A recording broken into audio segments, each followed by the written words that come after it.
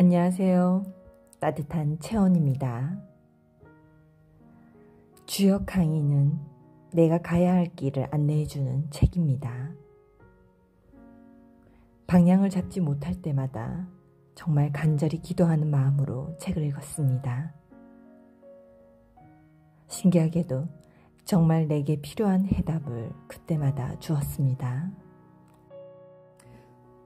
여러분도 간절한 마음으로 읽어보세요.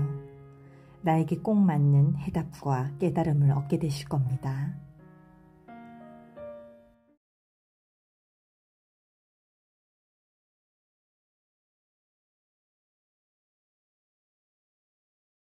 두 번째, 곤. 인간의 길을 묻는 이에게. 평화와 번영을 위한 유일한 원리, 상생. 세상 만물은 누가 가르쳐 주지 않아도 스스로 살아가는 방법을 이미 터득하고 있다. 그러나 끊임없이 배우고 익혀야 하는 것이 하나 있으니 바로 상생의 도리다. 상생의 도리를 어기면 큰 정치인도 때를 얻지 못해 몰이배를 전락하고 큰 부자도 돈을 모으는 수전노가 되며 아무리 훌륭한 종교라 해도 인류를 전쟁의 고통으로 몰아가게 된다. 고는 이처럼 땅 위에 사는 인간들의 복잡다단한 삶을 폭넓게 조망하면서 공생의 첫 번째 원리라고 할 수 있는 상생에 대해 가르치고 있다. 땅 위의 존재인 인간은 모든 원형 리정의 시간을 거치며 살아간다. 마침내 죽음에 순종하게 된다. 이런 과정에서 군자는 나아가 뜻을 펼침해 처음에는 혼미하여도 뒤에는 뜻을 얻는 법이니 성공의 주인이 된다. 이때 중요한 것이 상생의 도리이다. 상생하면 재화와 덕망을 얻을 것이며 상극하면 이를 잃게 된다. 그러므로 사람은 항상 그 끝을 인식하며 몸과 마음을 편히 가져야 한다. 겉으로는 쉽고 약해 보여도 내면은 어렵고 강한 것이 현실의 세계다.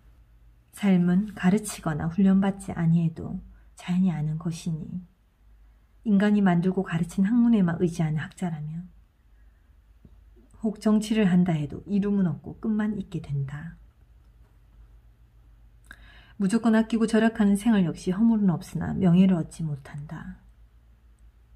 만민과 자연에게 봉사하고 희생하고 박이하는 삶. 그런 삶이라야 근원적으로 길하다. 만약 상생의 원리를 어긴 종교전쟁이 일어난다면 그 전쟁은 전 세계로 확대되고 양쪽 모두 피를 흘리며 쓰러지게 된다. 하지만 문명의 번영을 누리는 현재의 세상은 그 끝까지 아직 오래 남았다. 그러므로 근신하고 현재의 환경과 삶을 길이 보존하는 데 힘써야 한다. 곤 원형리 빈마지정 곤의 원리는 원과 형과 리의 시절을 거쳐 정의 시절에 이르러 순한 암말과 같이 순종하는 것이라는 말이니 땅 위에서 펼쳐지는 인간 삶의 각 단계와 결국 죽음에 순종할 수밖에 없는 인생의 유한성을 설명한 것이다. 앞에서 건은 우주의 흐름을 말하는 것이어서 처음부터 끝까지 일관된 원형 리정의 단계를 똑같이 거친다고 본 반면 고는 실존적인 인생의 흐름을 말하는 것이어서 원형 리의 단계까지는 건과 마찬가지지만 정에 이르면 약해지고 죽음에 순종할 수밖에 없는 운명임을 비유적으로 표현하고 있다. 군자 유유왕, 선미후득, 주리 군자는 나아가 뜻을 펼침해 처음에는 혼미하여도 뒤에는 뜻을 얻으니 리의 주인이 된다는 말이다. 앞에서 인생의 큰 줄기에 대해 설명하고 나서 이제 본격적으로 인간 개개인의 성공적인 삶, 사회와 개인을 연결하는 태도, 미래를 위한 인류의 자세에 대해 말하기 시작하는 부분이다. 우선 누구나 뜻을 펼치는 과정에서 처음에는 어려움이 따르지만 이를 끝까지 포기하지 않으면 결국에는 성공을 거둘 수 있다는 진리를 말하고 있다. 다시 한번 읽을까요? 누구나 뜻을 펼치는 과정에서 처음엔 어려움이 따르지만 이를 끝까지 포기하지 않으면 결국에는 성공을 거둘 수 있다는 진리를 말하고 있다. 끝까지 포기하지 않으면 서남 득붕 동북 상붕 서남쪽으로 가면 벗을 얻고 동북쪽으로 가면 벗을 잃는다는 말이니 상생하면 재화와 덕망을 얻게 되고 상극하면 재화와 덕망을 잃게 된다는 뜻이다.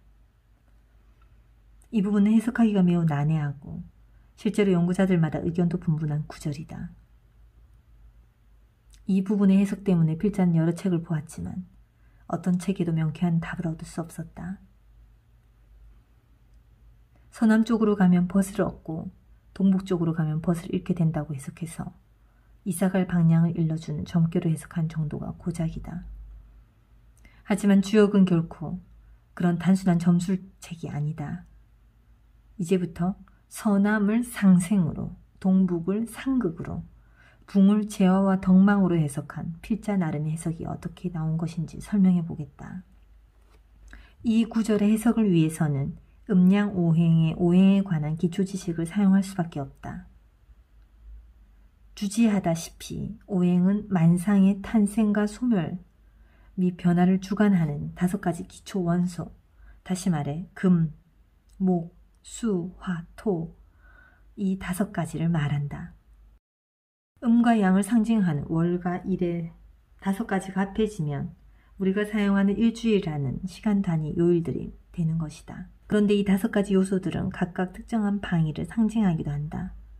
역으로 중앙과 사방을 합친 다섯 방위가 각각 이 오행에 대응한다고 해도 같은 말이다. 이해하기 쉽게 그림으로 그려보면 다음과 같다.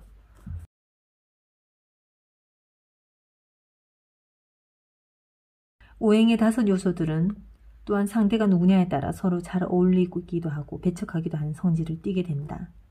예를 들면 불은 흙을 낳고 흙은 쇠를 낳는다고 해서 이를 각각 화생토, 토생금이라고 하고 이런 관계를 상생의 관계로 규정한다. 반면 나무는 흙을 뚫고 흙은 물을 막는다고 해서 이를 각각 목극토, 토극수라 하고 이런 관계를 서로 어울릴 수 없는 상극의 관계로 규정한다. 그렇다면 주역의 본문에 등장하는 선왕과 동북은 어떤 관계를 나타내는 것일까? 위 그림을 통해 쉽게 확인할 수 있는 것처럼 서남은 중앙의 토를 중심으로 해서 화생과 토생금의 상생관계를 나타낸 것이다. 반면에 동북은 목극토, 토극수의 상극관계를 나타낸다.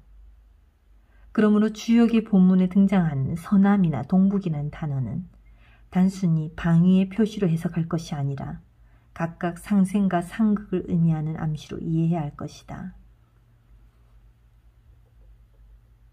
이렇게 해야 뒤의 구절들까지도 아울러 일관된 해석을 유지할 수 있다. 그렇다면 붕은 무엇인가?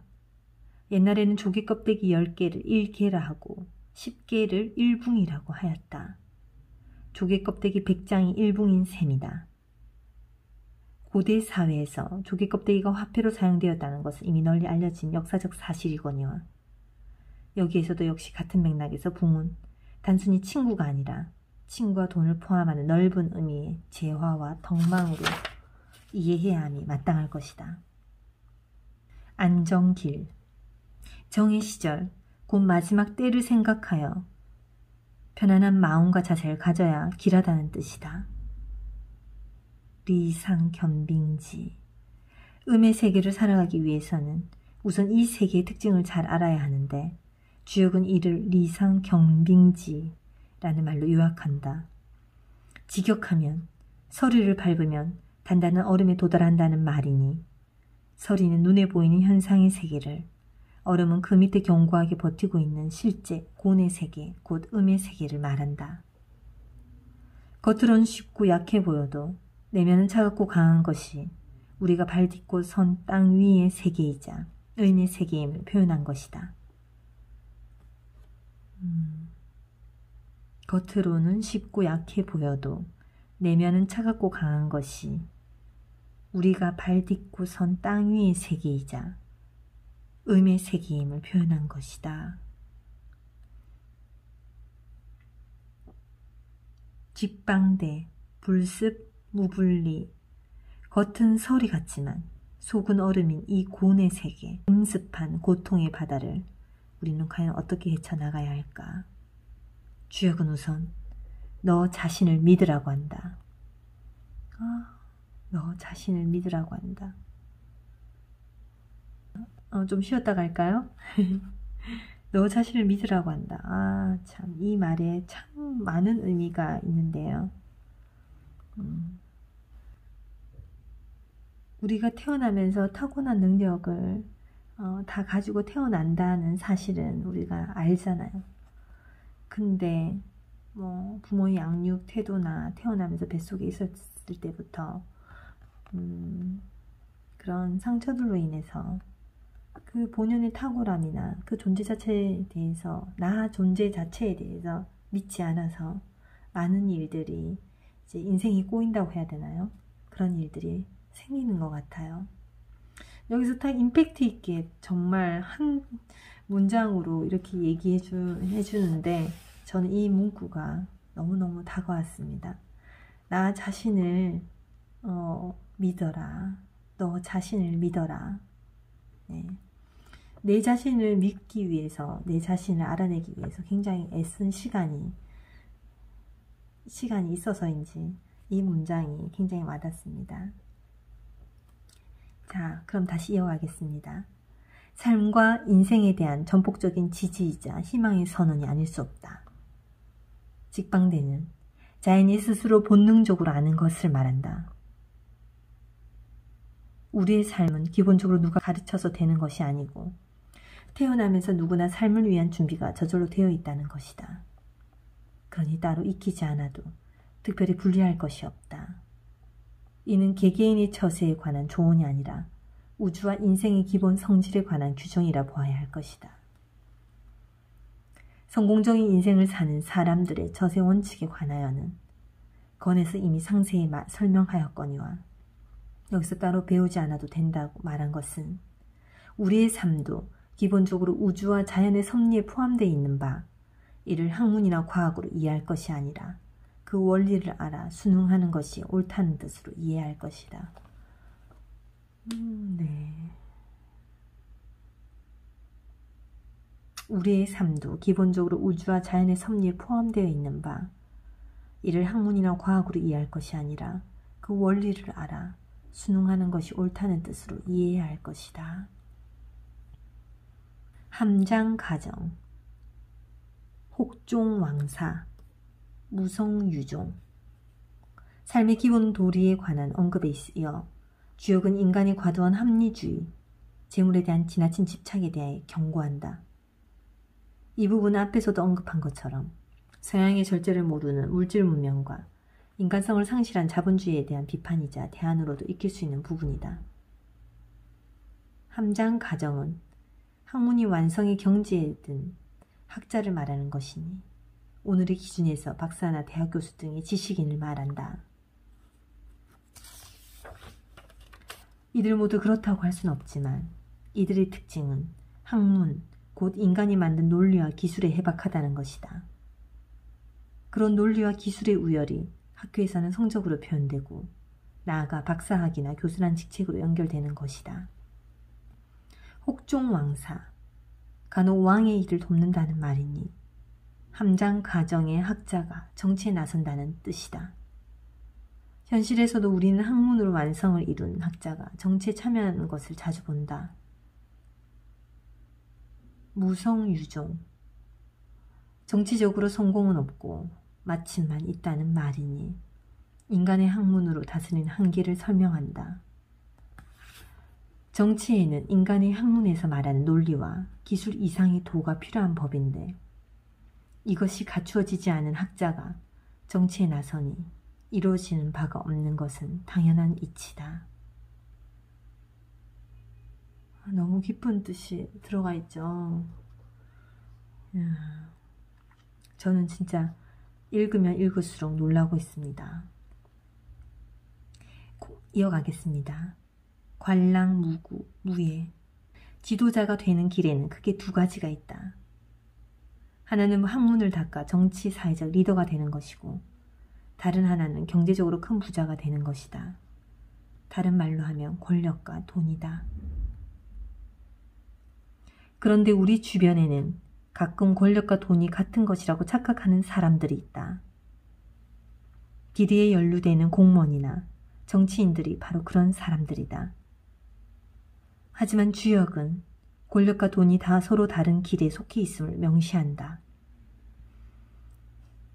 앞서 언급한 함장 가정의 길에서 가장 중요한 것은 치세의 도를 깨닫는 것이고 이것이 되지 않으면 자신의 뜻을 펼칠 수 없다고 했다. 그저 적당한 권력과 부만 누리게 되고 인민을 위한 진정한 통치자로 기록될 수는 없다는 말이다. 그러나 경제적 리더의 길은 이와는 다르다. 경제적 리더가 추구해야 할 가장 중요한 가치는 명예여야 한다면 지나친 인색함 때문에 대부분의 부자들이 이 명예를 얻지 못한다고 비판하고 있는 것이다. 관랑은 돈주머니의 주둥이를 꽉 묶는 것이니 벌어들인 돈을 쓰지 않는 구두쇠를 말한다. 이런 지나친 절약은 그 자체로 허물이 되는 것은 아니지만 불행하게도 이 때문에 명예를 얻을 수 없다고 했다. 이 책을 쓰고 있는 지금 우리 섬이 여전히 지독한 경제적 어려움에 시달리고 있다. 그런데 돈 많은 부자들은 더욱 많은 돈을 벌어들이고 있고 그들의 돈이 갈 곳을 찾지 못하고 있다고 한다. 돈을 쓰지 않는 부자들에게 죄를 물을 수는 없다. 돈을 쓰고 쓰지 않고는 그들의 자유다. 대신 그들은 명예를 기대해서는 안 된다. 이 어려운 때에 자기 자신만을 생각하고 돈을 쓰지 않는 행동이 결코 명예로운 행동이 아니라는 것을 알아야 한다. 명예를 위해서는 부를 나눌 줄도 알아야 한다는 것이다. 우리 사회의 리더들, 특히 정치와 경제를 책임진 사회 지도층 인사들은 주역의 이런 명명백백한 가르침을 반드시 깨닫고 명심해야 될 것이다. 네, 잠깐 쉬어갈까요? 아, 네. 진짜 우리 사회의 유명한 리더들 음, 엄청난 기부를 하잖아요. 음, 자기 전 재산을 기부하고 또 다시 그 이상을 벌어들이고 아 그냥 상생의 원리지 않나 그런 생각이 듭니다. 음. 자 이어가겠습니다. 황상 원길 황상은 직역하면 황색 치마다. 그러므로 이 구절을 직역하면 황색 치마는 근원적으로 길하다 정도로 풀이할 수 있다. 황색 치마란 무엇인가? 우선 황은 오행의 방위로 치환하면 중앙에 해당하니 중용의 덕을 상징한다. 치마는 아래로 두루 펼쳐지는 것이니 아랫사람에게 베푼 도움의 상징이다. 그러므로 황상은 중용의 희생, 박애를 상징한다. 이것이야말로 성인의 길이 아닐 수 없고 모든 사람들이 추구해야 할 진정한 가치가 아닐 수 없다. 얄팍한 인간의 학문으로 득세하는 일이나 돈을 벌고도 사리사욕에 집착하는 불미스러운 삶이 아니라 자기 자리를 지키면서도 타인에게 봉사하는 삶이 가장 근원적으로 길하다는 강조다. 이 얼마나 명쾌하고 깊이 있는 삶의 철학인가. 이런 중요한 지혜의 가르침을 끝에 붙은 길이라는 글자에 집착하여 길융화복의 점괘로 풀이하는 것은 천부당 만부당한 일이다. 음. 한 번만 더 읽을까요? 얄팍한 인간의 학문으로 득세하는 일이나 돈을 벌고도 사리사욕에 집착하는 불미스러운 삶이 아니라 자기 자리를 지키면서도 타인에게 봉사하는 삶이 가장 근원적으로 길하다는 강조다. 용전우야 기혈현황 직역하자면 들판에서 용들이 전쟁을 벌이니 그 피가 검고 노랗다는 말이다. 이때의 용은 단순한 인간이 아니라 신 혹은 신의 대리자들을 상징한다. 또한 들판은 세계 전체를 말한 것이다. 세계 전체를 무대로 벌어지는 용들의 전쟁. 이는 현세적으로 불이하면 종교 전쟁을 상징하는 것이 명백하다. 그렇다면 구체적으로 어떤 종교 사이의 전쟁인가? 주역은 검은 피를 흘리는 용과 누런 피를 흘리는 용이라고 말한다. 황은 돼지와 사막을 상징하는 색이고 혀는 물을 상징하는 색이다. 그러므로 땅을 숭배하는 종교와 물을 숭배하는 종교 사이의 전쟁으로 풀이할 수 있다. 돼지와 사막을 상징하는 종교와 물을 상징하는 종교가 각각 구체적으로 어떤 종교인지를 말하는 것은 필자의 몫이 아닐 것이다. 리영정 리의 시절에서 정의 시절 사이는 매우 길다라는 말이니 문명이 발달된 세상이 상당 기간 지속되었음을 말하고 있다. 리는 황극의 시절, 그러니까 인류의 문명이 최고도로 발달하는 시절을 뜻한다. 이러한 리의 시절이 매우 길다는 말은 인류의 멸망이 그렇게 쉽게 오지 않는다는 말이다. 그런 만큼 먼 미래를 내다보고 세계를 경영해야 하고 후손들에게 물려줄 자연 환경과 문명의 유산들을 잘 보존해야 한다는 속뜻이 담겨 있는 말이기도 하다. 네, 다시 한번 놀라며 이어가겠습니다. 건과 곤의 관계 밝음을 상징하는 양의 출발점이 건이라면 고는 어둠의 시작이다. 황혼을 지나 어둠이 지배하는 시각으로부터 날이 밝아오는 여명까지가 고의 시간이다. 고는 모든 것을 품에 안는 모정의 성품이며 사랑의 근원이기도 하다. 그러나 한편으로는 어둠과 습함의 성질을 대표하기도 한다. 건이 하늘의 뜻과 신의 섭리를 대표한다면 고는 땅의 원리와 사람의 이성이나 감정을 대표하는 개념이다. 곤이 내포하는 이러한 성품으로 인하여 세상에는 과학이 발전하지만 폭력과 섹스, 그리고 온갖 비리와 한락이 생기고 소멸하기도 한다. 이처럼 고는 어둠의 세상을 상징하지만 그렇다고 그 속에 어둠만 있는 것은 아니다. 건의 빛과는 다른 의미의 빛도 그 속에 포함되어 있다. 예를 들어 짐승과 다를 바 없는 인간을 교화하여 그 이성의 힘을 키우는 교육이나 종교와 같은 것이 바로 고온의 세계에 속한 빛이다. 인간의 성품 가운데 감정과 더불어 이성이 병존하는 이치와 같다. 고는 또한 건과 마찬가지로 시간적인 흐름이면서도 멸극의 정에 이르러 그 시간과 공간이 함께 어우러진다는 점에서 건과는 다르다.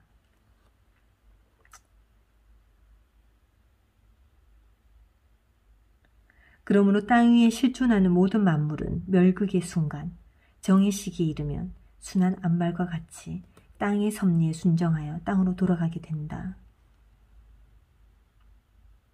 주역의 첫 번째 장인 건이 하늘의 섭리와 인생의 기본 원리를 설명한 것이라면 두 번째 장인 고는 좀 더 구체적으로 인간 사회의 삶에 실용적인 원칙을 제시하고 있다고 할 수 있다. 관심의 영역이 하늘에서 지상으로 인간 사회로 좀 더 구체화된 것이다. 이러한 구체성의 획득은 주역의 진행과 함께 더욱 강화되고 세밀해진 경향을 띠게 된다. 주역 인간의 삶을 말하다. 고온에 대한 기본 설명에 이어 주역은 이러한 고온의 세계에서 어떻게 하면 사람들이 좀 더 평화롭게 서로 번영할 수 있는지를 설명한다.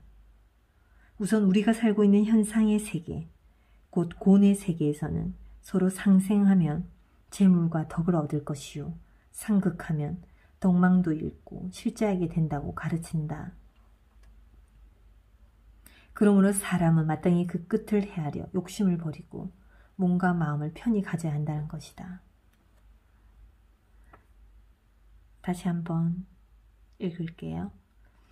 우리가 살고 있는 현상의 세계, 곧 고의 세계에서는 서로 상생하면 재물과 덕을 얻을 것이고 상극하면 덕망도 잃고 실제하게 된다고 가르친다. 그러므로 사람은 반드시 그 끝을 헤아려 욕심을 버리고 몸과 마음을 편히 가져야 한다는 것이다.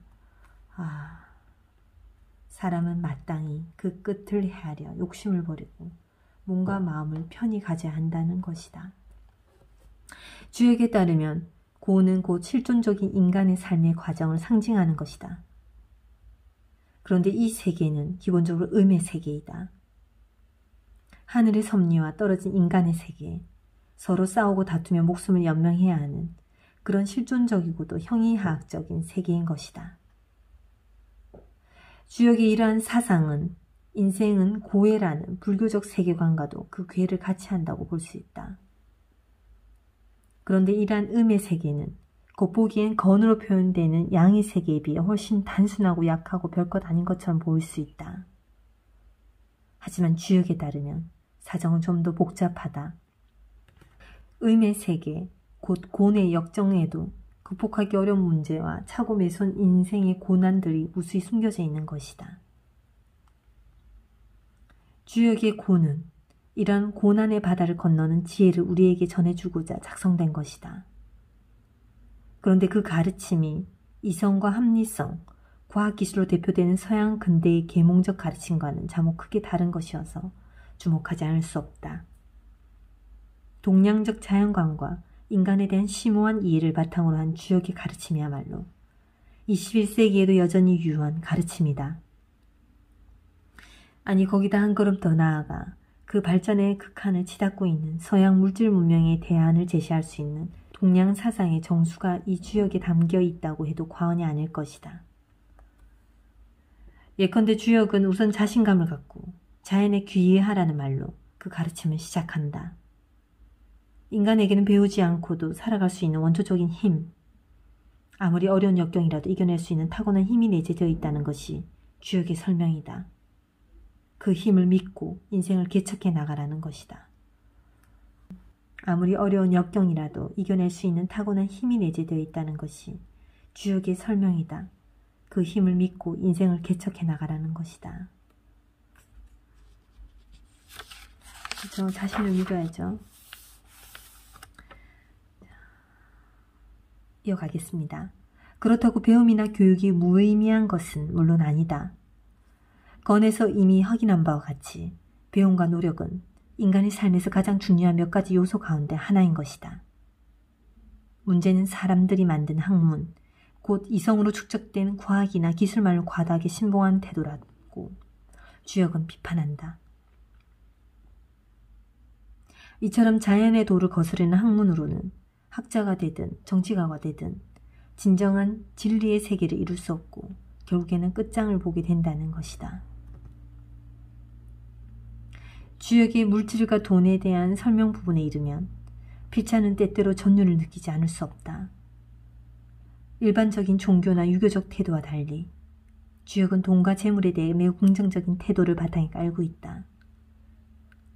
책의 여러 곳에서 돈과 재물을 어떻게 얻을 수 있는지를 구체적으로 설명하고 있기도 하다. 자본주의 사상의 맹아가 이 책에 있었다고 해도 과언이 아닐 정도다. 더욱 놀라운 것은 맹목적인 자본 숭배에 대한 분명한 경계의 깨우침이다. 곤에서도 이러한 태도는 여실히 나타난다. 돈에 지나치게 집착하여 제대로 쓸 줄을 모르는 사람은 비록 허물이 있다고 할 수는 없으나 명예를 얻을 수 없다고 분명히 경고하고 있는 것이다. 최근 우리 사회의 노블레스 오블리주에 관한 논의를 신문에서 보게 될 때마다 주역의 이 가르침이야말로 오늘의 우리 자본가 부자들이 반드시 명심하고 실천해야 할 가장 중요한 덕목이 아닌가 생각하게 된다.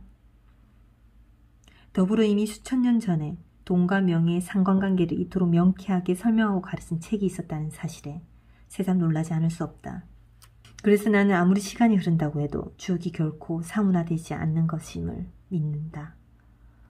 삶은 이어진다. 영원히. 인간 사회의 기초를 지키기 위한 공생의 도리, 상생의 도리를 말한 다음 주역은 그런 사회의 항구적인 지속이 과연 가능할 것인지 가능하다면 어떻게 해야 영원히 지속될 수 있는지의 문제에 대해 고민한다. 일종의 종말론에 관한 주역의 해석이자 가르침이다. 그런데 그 해안이 실로 탁월하다. 주역의 진단에 따르면 인간 사회의 종말은 결국 종교 전쟁으로 인한 것이라고 한다. 본문에 등장하는 용의 전쟁은 바로 이 종교 전쟁을 은유적으로 나타낸 것이다. 수천 년간 지속된 유럽의 피비린내 나는 전쟁의 역사를 살펴보면서 필자는 주역이 이런 진단에 절로 고개를 주걱거리지 않을 수가 없다. 필자의 생각에도 만약 인류를 전멸시킨 전쟁이 일어난다면 그것은 분명 종교와 관련된 전쟁일 것이다. 그러나 종교 전쟁으로 결국 인류가 멸망할 것이라는 최종 진단을 끝을 맺는다면 나는 주역을 이토록 열렬히 신봉하진 않았을 것이다. 전쟁에 의한 인류의 종말은 이미 성세에 예견된 것이고 누구나 조그만 머리를 쓰면 그런 대답은 얼마든지 내놓을 수가 있다. 문제는 그런 종말에 어떻게 대처해야 하는지 그 대안을 제시해야 한다는 것이다. 이 문제에 대한 주역의 태는 단호하다. 인간의 세상, 물질과 부로 표현되는 세계에서 종말의 시기인 정의 세계까지는 아직 시간이 길게 매우 길게 남아있다는 것이다. 이상의 논의를 통해 앞으로 인간이 취해야 할 태도는 분명해진다. 상생의 원리에 기초하여 자연의 도를 터득할 것, 다른 사람을 위해 나누고 봉사할 것, 후손들을 위해 자연과 세상을 더욱 아름답고 살기 좋은 낙원으로 가꾸어 나갈 것. 이것이 주역의 고니 우리에게 준 가르침인 것이다. 아 이제 다 읽었죠? 아 다 읽었구나. 네.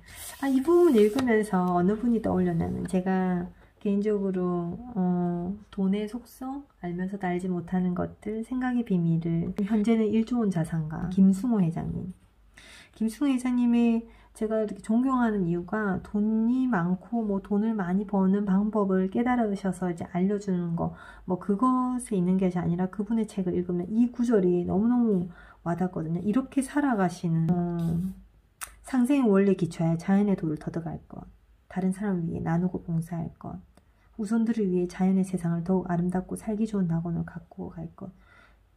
음, 그분이 사업을 할 때 자연을 해치거나 어, 사람들을 해치거나 아, 그런 업종은 선택하지 않는다. 그리고 같이 부자가 되기 위해서 주변에 있는 100명을 100만 장자를 만들어주는 그런 활동을 하셨거든요. 음, 이걸 읽으면서 그분이 자꾸 생각났어요. 제가 좋아하는 분이라 그분만 생각난 것 같아요. 네, 여기까지입니다. 네, 다음 시간에는 사랑에 빠진 젊은이들에게 사랑할 때와 기다릴 때를 어떻게 해야 되는지 얘기가, 얘기를 한번 해보도록 할게요. 이 분도 참 재미있고, 어, 어떻게 사랑을 해야 할지 나와 있습니다. 네, 다음 시간에 또 뵙겠습니다.